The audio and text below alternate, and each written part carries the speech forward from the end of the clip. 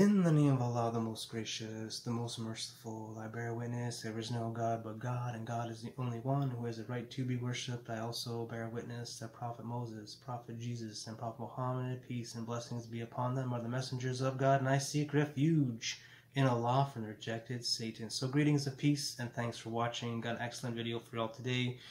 We're going to be discussing about the coming of Imam Mahdi the Mashiach, inshallah. We got charity and we're also we're going to be discussing about the stingy people out there the greedy people out there that they just just don't like other people they just don't like poor people getting taken care of. They just it just hurts them to see poor people get some money. So we're going to be discussing about that.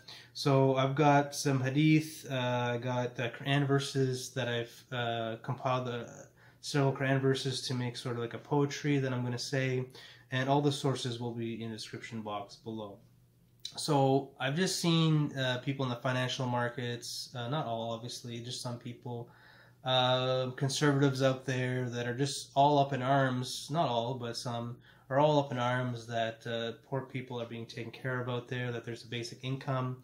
We know from the hadiths of Prophet Muhammad, peace and blessings be upon him, that in time of Imam Mahdi, they'll have some sort of basic income for people. Uh, this seems where the world's direction is going with the current events, etc. that the government's helping these needy people. So I've got a hadith here to help us understand that. Uh, saying of Prophet Muhammad, peace and blessings be upon him, that Al Mahdi is from my ummah. He will be born and live to rule five, seven, or nine years. If one goes to him and says, Give me a charity, he will fill one's garment with what he needs. There's other hadiths that talk about people that have charity and are looking to give the charity to people, but since everybody's so so well taken care of that all their basic needs are being taken care of that no one will accept the charity because everybody is taken care of. So this is the the way we're moving forward. And to amplify everybody's wealth, well, we have to give charity. That's the way to manifold, to multiply our wealth that we will find in these uh, Quran, uh, these Quran verses to help us understand. So that will come in the, in the, in the poem just shortly. Um, I just wanted to touch on these stingy people first. That you know, I don't understand why they just it just upsets them so much to see poor people being taken care of. So the title of this poem that I've compiled the Quran verses called "Greedy People Will Be Disciplined." Moreover, a human being is such that when his Lord disciplines him by prosperity, and thus honors him and bestows favors on him, he says, My Lord has honored me.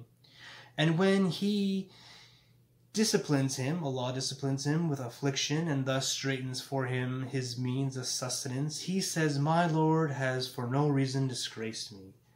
Nay, what you think is wrong.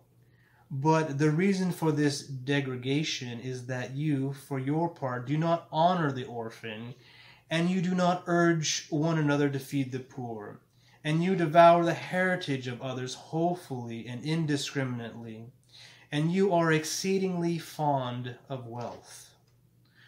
He who stands in awe of God will heed, but the person steeped in wickedness goes on avoiding it. The virtuous shall invariably be in a state of bliss. And you should not desire otherwise except that which Allah, the Lord of the worlds, desires for you. This Quran is but a means to rise to eminence for all people, for such of you who wish to walk straight to attain eminence. And there and in their wealth and belongings was a rightful share for those who asked for help and for those who could not. Neither has he love for those who practice stinginess themselves and also enjoin others to be stingy. He who turns his back upon the, his commandments should beware.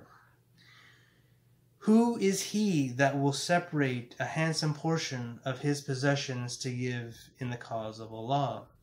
Let him remember he will increase it manifold to repay it to him many times over.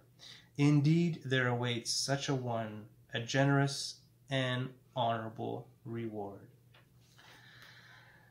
So I hope you enjoyed that uh, poem, which is just a compilation of Quran verses. It's very informative. Um, there's lots of things that can be deduced from it. I'll leave that to your discretion. I've deduced the knowledge I feel confident in Um, to be more charitable is that will uh, multiply my wealth, uh, to stay away from stingy people, um, to know that being stingy and uh, trying to convince others to be stingy is very sinful and unlawful and a criminal act according to the creator of all that exists. And uh, to pay heed to this and to take Allah as your shield and to apply the Quran to raise eminence, etc., etc. So I hope you enjoyed this video. Uh, hope you take Allah as your shield. May the peace and blessings of Allah be with you. And all the best. And, you know, give charity a try. You know, if you got a few extra bucks to spare in your surplus, if you don't give charity already, um, and if you give it for the cause of Allah with seeking nothing in return, you will feel bliss and feel great feelings after giving this charity that's from my personal experience. Um, obviously, people who watch these videos of mine obviously are probably very charitable themselves and uh, know themselves that it's very rewarding to give charity. So, once again, I hope you enjoyed this video and may the peace and blessings of Allah be with you. Take care. Thank you so much. Peace.